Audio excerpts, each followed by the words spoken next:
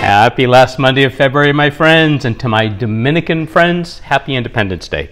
I hope that you had a great week last week and are ready for this brand new week. And this week's words of wisdom are from the American graphic designer and author of several novels, R.J. Palacios. Courage, kindness, friendship, character, these are the qualities that define us as human beings and propel us on occasion to greatness. For this week's act of kindness, be considerate when out on the road. Give a smile to a fellow driver at a stoplight. It's guaranteed to make their day, or at the very least, get them thinking, what do they have to be so happy about? If another driver wants to cut into traffic in front of you, let them.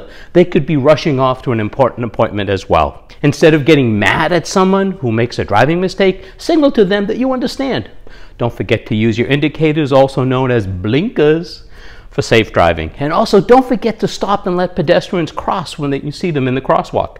After all, it's the law. We recently posted a blog on how your credit score affects the cost of your insurance.